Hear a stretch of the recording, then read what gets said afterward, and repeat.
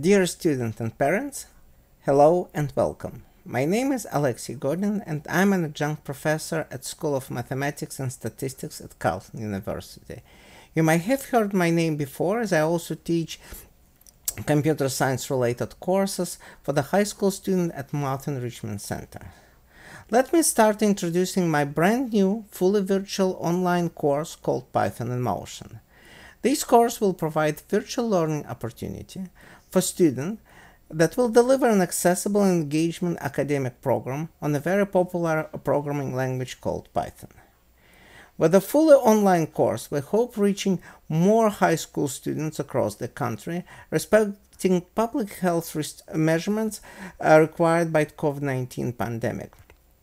Python is a programming language that raises in the popularity among many high school as well as university programming courses. As such, my course aim better prepare you for the, uh, for the transition into the industry.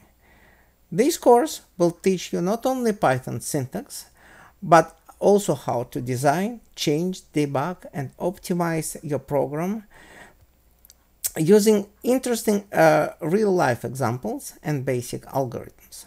Over 80% of the knowledge and skills learning on this course could be applied to many other programming languages courses you will engage in the future. This course will run every Saturday in the form of interactive presentation, which will alternate with a practical lesson and homework review.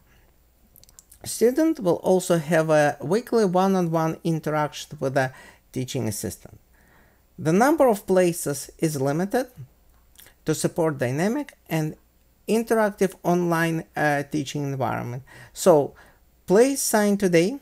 If you have any question or concern, uh, please contact me anytime at python.in.motion at gmail.com. Thank you very much for your attention and see you soon on my course. Bye bye.